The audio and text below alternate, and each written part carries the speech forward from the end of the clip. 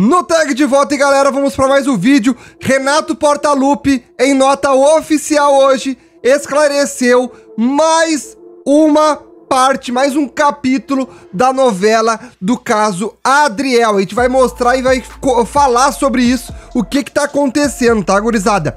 Mas antes, eu quero lembrar para vocês que gostam de ver filmes, séries, inclusive futebol ao vivo e não sabe aonde assistir, tá sempre perdido quando tem algum futebol. Ah, hoje tem a Libertadores, hoje tem Copa do Brasil, hoje tem Brasileirão.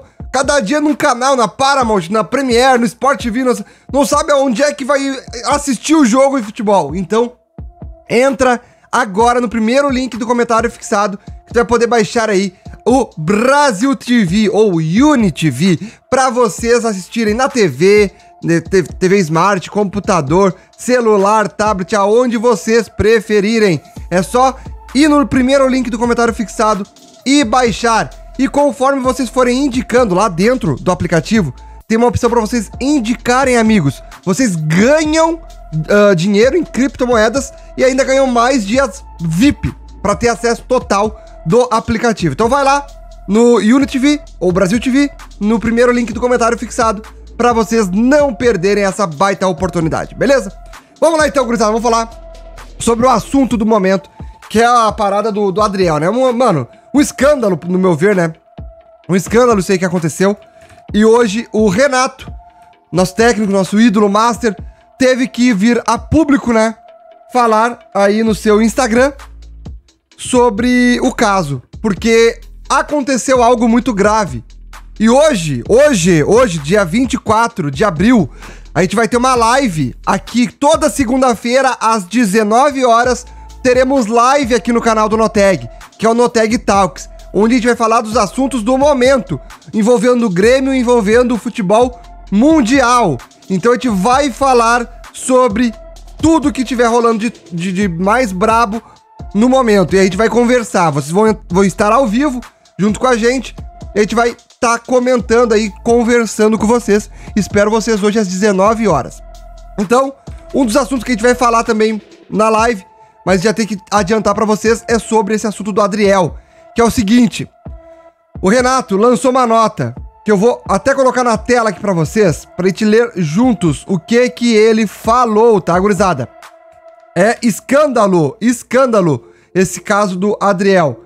E o próprio Renato teve que lançar uma nota uh, referente a uma acusação que fizeram no Renato, que o Renato estaria aí uh, prejudicando o Adriel por conta da escolha do empresário, porque o Adriel escolheu o empresário Pablo Bueno e não teria escolhido o empresário do Renato, que é o Gauchinho.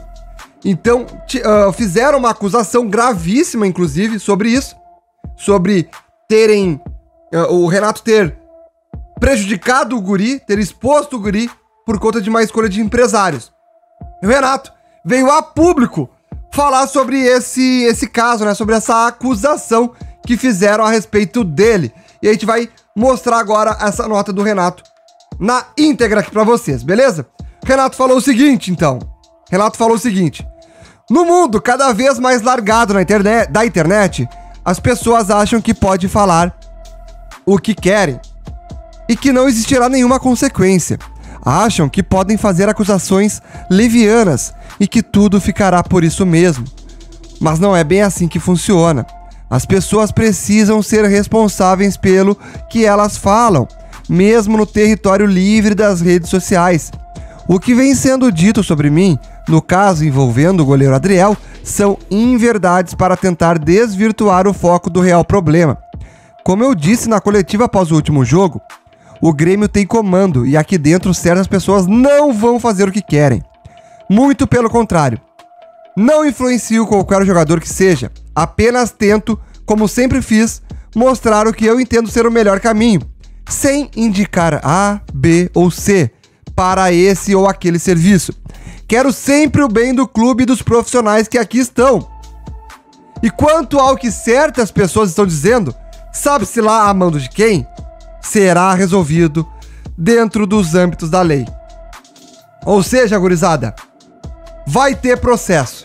Vai ter processo. Renato não deixou barato.